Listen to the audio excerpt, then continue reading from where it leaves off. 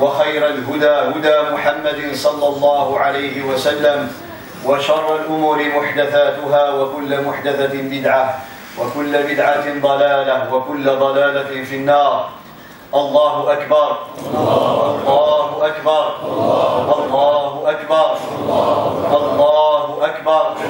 الله أكبر الله أكبر الله أكبر الله أكبر كبيرا والحمد لله كثيرا وسبحان الله وبحمده بكرة وأصيلا. معاشر المؤمنين والمؤمنات إن هذا العيد وهذا اليوم العظيم سماه رسول الله صلى الله عليه وسلم باسم عظيم وورد ذلك الاسم في كتاب الله عز وجل. وقف نبينا صلى الله عليه وسلم في مثل هذا اليوم وهو في حجة الوداع فاستقبل الناس وجمعهم كما في الحديث الصحيح وسألهم سؤالا أراد من وراء هذا السؤال أن يظهر للمسلمين مكانة هذا اليوم العظيم وأقصد يوم عيد الأضحى. Pendant le pèlerinage d'adieu du prophète sallallahu alayhi wa sallam pour montrer l'importance capitale de ce jour qu'on appelle le jour du sacrifice, Eid al-Adha, qu'on appelle la grande fête des musulmans. Pour montrer la valeur de ce jour, il rassembla les musulmans autour de lui. Et on sait très bien que ce jour-ci, les musulmans se trouvent à Mina, à la Mecque, pour faire le lancement des pierres, pour faire l'immolation et pour se raser la tête. Le prophète sallallahu alayhi wa sallam, une fois les musulmans tous rassemblés autour de lui, il dépassait 100 000 musulmans. Il leur adressa une question en disant Nous sommes quel jour aujourd'hui فقال لهم النبي صلى الله عليه وسلم أي يوم هذا فقال المسلمون هذا يوم النحر Ils ont dit c'est le jour de l'immolation, c'est le jour du sacrifice. قال صلى الله عليه وسلم هذا يوم الحج الأكبر هذا يوم الحج الأكبر C'est le jour du grand pèlerinage. C'est le jour du grand pèlerinage. هذا يوم الحج الأكبر لأن في هذا اليوم يؤدي الحجاج أكثر أعمال الحج من رمي ونحر وحلق وطواف وسعي وفي ليلة هذا اليوم كانوا بعرفات ثم باتوا بمزدلفة puisque la grande partie des rites de pèlerinage se font durant ce jour. La veille, la nuit de ce jour de l'Eid, les musulmans, les pèlerins étaient à Arafat et ils étaient passés la nuit à Muzdalifa. Après le Fajr, ils sont partis à Mina pour faire le lancement des pierres, faire l'immolation, se raser la tête, ensuite descendre à Mecca pour aller faire les circulations ou bien le tawaf autour de la Kaaba et les sept trajets entre Safa et Marwa. C'est pour vous montrer que le pèlerinage peut être résumé en grande partie en ce jour de l'Eid. فأكثر أعمال الحج تؤدى في هذا اليوم. لذلك سماه القرآن وسماه النبي صلى الله عليه وسلم يوم الحج الأكبر. أحبابي الكرام تأملوا جيدا إلى معنى من المعاني التي سأذكرها لهذا اليوم. Il y a un sens, une dimension que nous devons rappeler chaque fois à l'occasion du jour du sacrifice.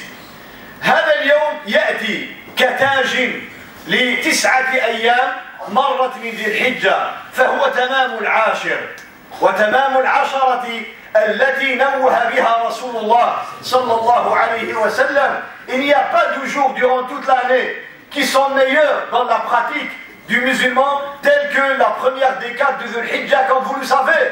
Mais là, il faut faire attention. Quand je dis faire attention, c'est-à-dire attirez vos attentions.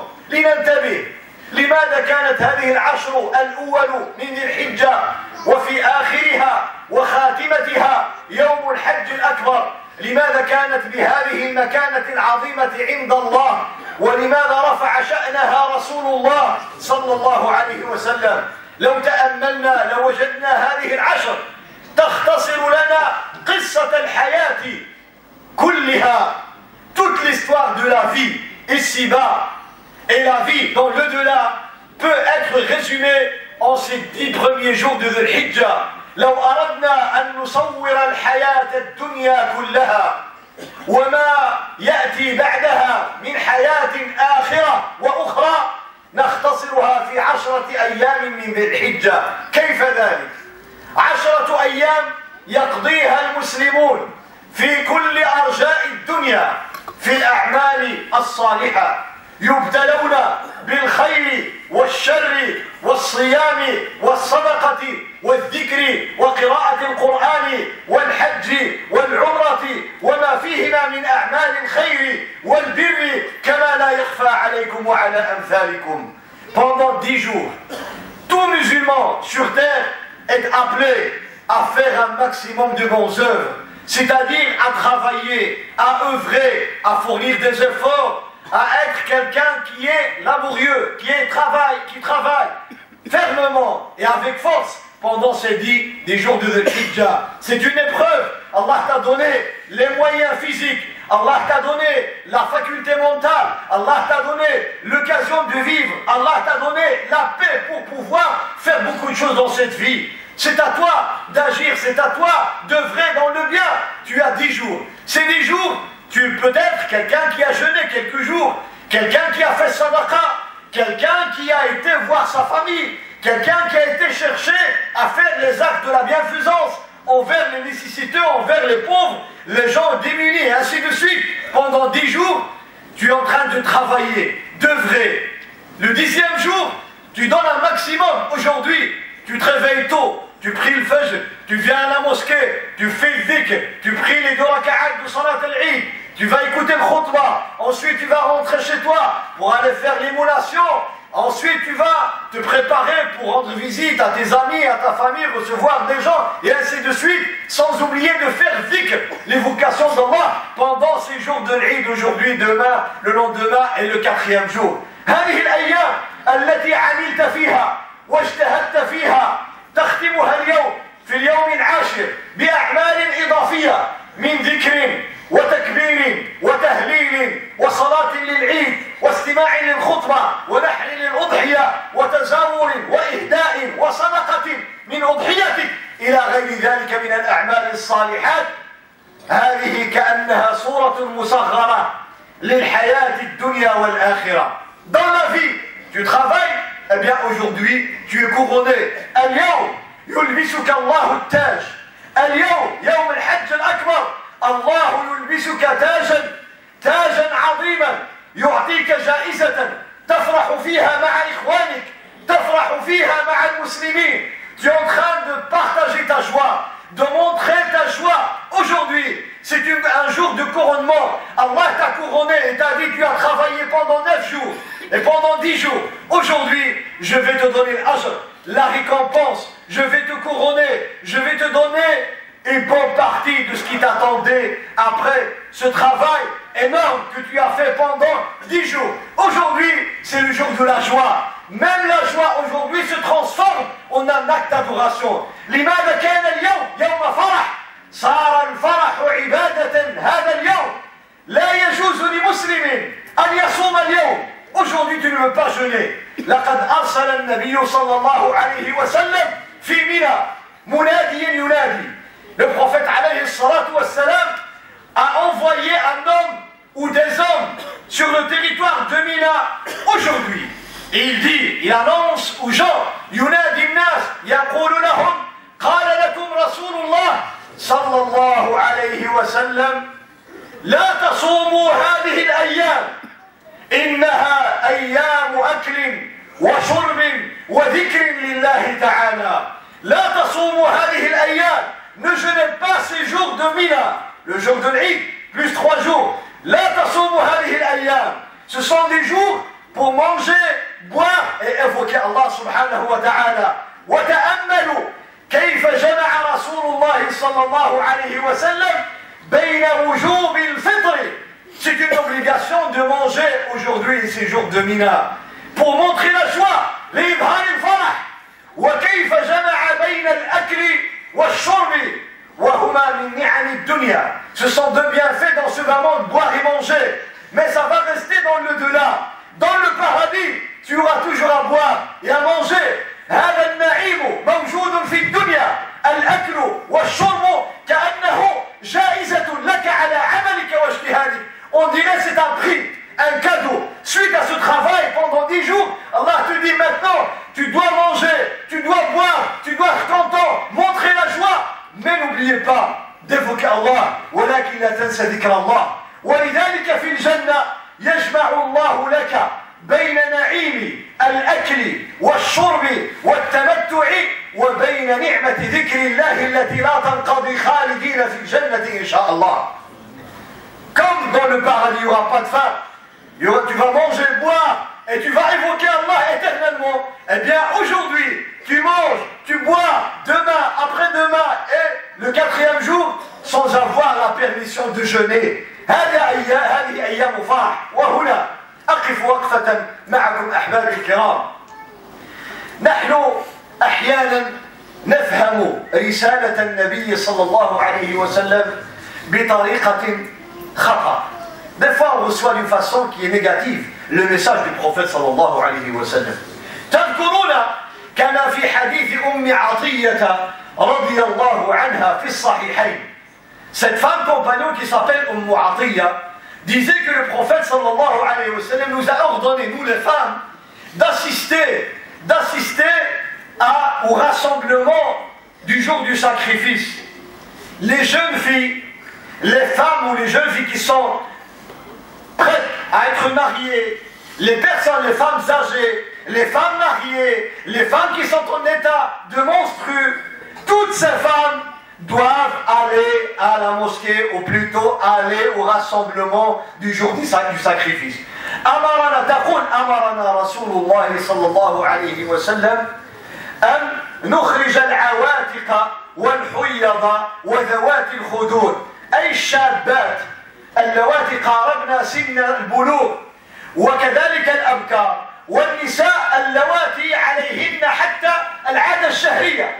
يذهبن إلى أين؟ إلى مكان اجتماع المسلمين لماذا؟ قال صلى الله عليه وسلم كما نقلت أم عطية يشهدن الخير ودعوة المسلمين يشهدن الخير ودعوة المسلمين حضور الناس واجتماعهم مظنة حضور الخير والبركة من الله ومن هذه الدعوات إذا سلم الإمام من خطبة العيد خرج قال لك الخطبة ماشي واجبة puisque le khutbah n'est pas obligatoire d'assister à le khutbah, eh bien après le salam de la prière on part. Pourquoi Parce qu'un jour le prophète sallallahu alayhi wa sallam a dit dans la prière de l'Eid, quand il a fini, il a voulu tenir le discours comme je le fais maintenant. Il dit aux musulmans, je vais donner un discours, celui qui veut assister, il peut, celui qui veut, qui veut partir, il peut. Alors malheureusement, nous, on a mal capté le message. حينما قال النبي صلى الله عليه وسلم للمسلمين وهو في بداية خطبة العيد من شاء فليجلس ومن شاء فلينصرف فبعضنا يظن أنه بحال بحال وخارج شاول ما, ما عنده شغل ما معليش يمشي. وهذا خطأ في الفهم. يا إخوتي الكرام إذا كان النبي صلى الله عليه وسلم يحث النساء الحيض على حضور الخطبة ولا يصلين ويستمعن إلى الخطبة ويشهدن الخير والدعاء وهن حيض لا يصلي. فكيف بالرجل الذي لا ينزل به لا دم حي ولا حي Vous imaginez que le prophète sallam insiste sur le fait que les femmes en état de règle doivent venir assister. Assister à quoi À la prière, il ne faut pas prier. Écoutez la khutbah. Alors que dire des hommes qui n'ont aucune excuse pour sortir Alors on a mal capté le message. لأن هذا الاجتماع أحباب الكرام هو اجتماع خير وبركة وأجر وثواب وذكر لله ودعوة مستجابة إن شاء الله تعالى. فأسأل الله تعالى أن يملأ قلوبنا بالإيمان وأن يطهر نفوسنا وأعمالنا. أسأل الله أن يصلح أولادنا ويبارك في أعمالنا وأن يطيل أعمارنا في طاعته ويحسن أعمالنا في مرضاته. اللهم آت نفوسنا تقواها وزكها أنت خير من زكاها. أنت وليها ومولاها. اللهم أصلح ذات بين المسلمين وارفع النقم عن المسلمين. اللهم ارفع نار الحروب عن جميع بلاد المسلمين. اللهم إنا نسألك أن تطفئ نيران الحروب والفتن في جميع بلاد المسلمين. اللهم احفظ المسلمين في مشارق الأرض ومغاربها. اللهم نجح أولادنا واستر نساءنا. اللهم وفقنا لكل خير. اللهم اجعل خير أعمالنا خواتيمها وخير أيامنا يوم نلقاك. يا ذا الجلال والإكرام. أحبابي الكرام أيها المصلون أيها الصائمون الذين صمتم البارحة ليغفر الله تعالى ذنوبنا وذنوبكم. أحبابي الكرام هذا اليوم ينبغي أن نحيي فيه بعض المعاني التي بدأنا منذ سنين نفقدها. كنا في السنوات البعيدة نسبيا حينما يأتي العيد on attendait العيد assoiffé les enfants attendaient assoiffés que le père ou la maman ou un oncle ou un frère ou un voisin vienne lui donner quelques pièces de monnaie. Il est content. Il est content. Les parents sont contents de voir leurs enfants leur rendre visite pendant l'Eid les voisins sont contents de recevoir un plat de gâteau de la part d'un voisin. Les gens étaient contents et ils ont, des buts et des objectifs de la fête du sacrifice.